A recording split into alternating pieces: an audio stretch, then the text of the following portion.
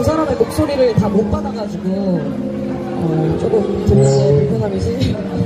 너 때문이야. 아, 음.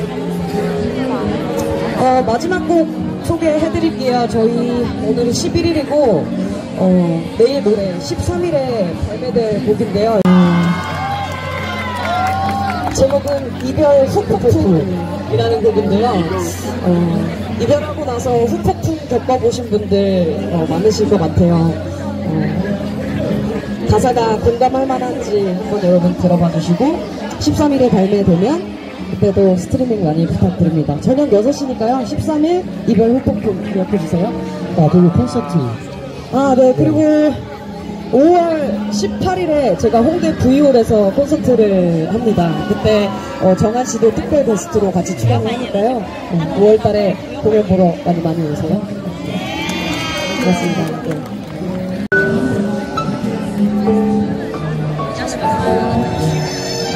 네. 네, 좋아요, 좋아요. 좋아요. 음향 잡아주려고 고생해준 어, 이름이 뭐예요?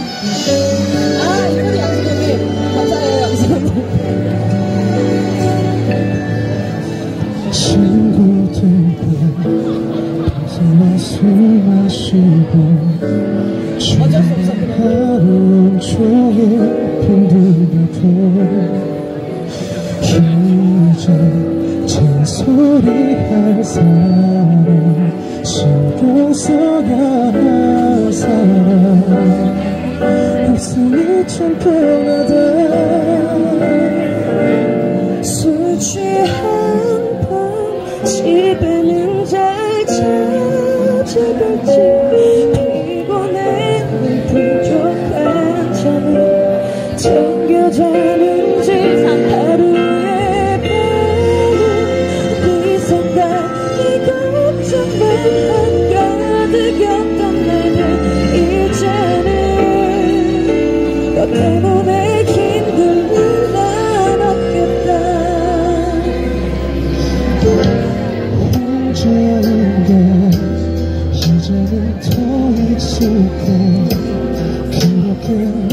속이며 지낼 날들 사실 괜찮지가 않아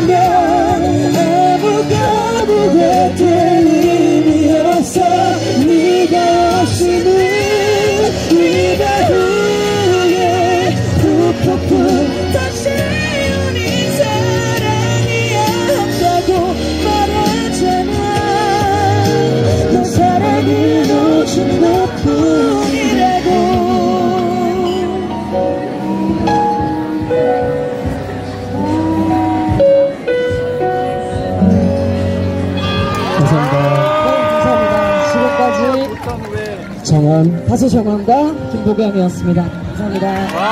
네. 네, 킹덤 씨 너무 고마워요.